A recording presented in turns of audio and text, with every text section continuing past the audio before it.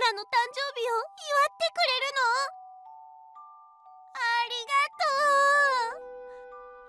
なにお祝いしてもらえてマルは本当に幸せ者ず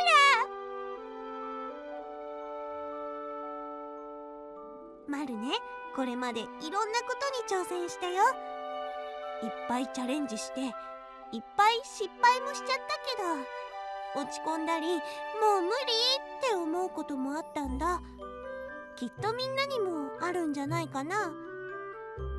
そんな時はね一休みしてもいいんだって思うことにしてるんだ。美味しいご飯をたくさん食べて頭を空っぽにしてお昼寝しちゃうのが一番。あもしかして今笑った？それでいいずら。雲が空に浮かぶように水が流れていくように心の赴くままに動いていればきっと素敵な場所にたどり着ける。いつも頑張っているみんなにマルからとっておきの言葉をプレゼントするね。